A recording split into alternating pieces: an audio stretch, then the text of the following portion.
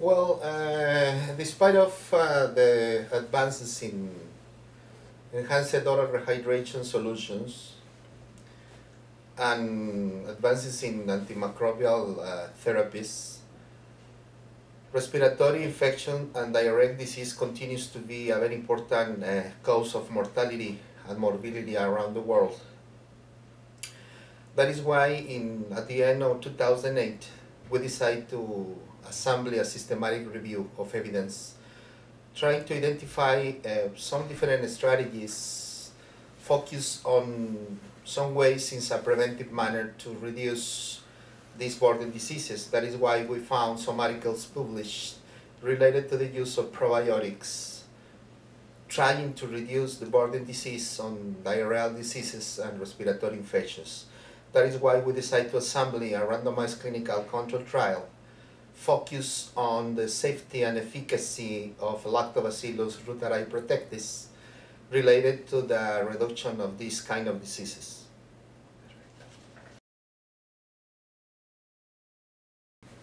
Well, uh, the main outcomes in our study was at first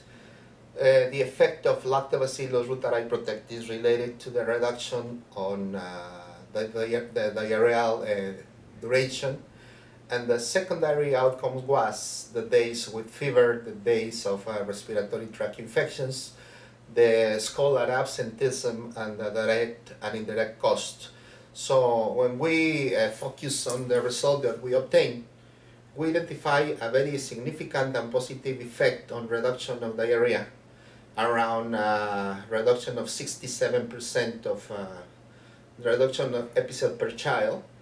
which mean around a reduction of 67% uh, total for the patient who received the five daily drops of lactobacillus reuteri protectis against the group who received placebo. When we talk about the secondary outcomes, we observe also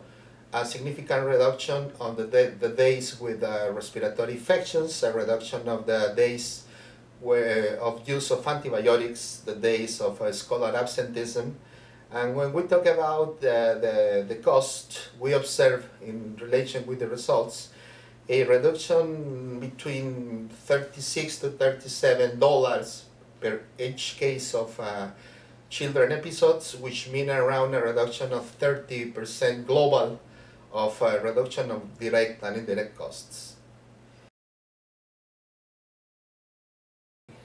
Well, this is uh, for us in Mexico and maybe for the most people in around the world. This is a very important study at first because they support evidence that we already know, for example, Weizman and Agustina studies, who already demonstrate, who already show us the possibility to use in a preventive manner lactobacillus reuteri. So at first it supports uh, previous evidence, but uh, also the second time, I, I think this is very important study because this is the first cost-effective cost analysis study that demonstrates us, that show us that it is possible since a cost-effective point of view to use uh, lactobacillus reuteri protectis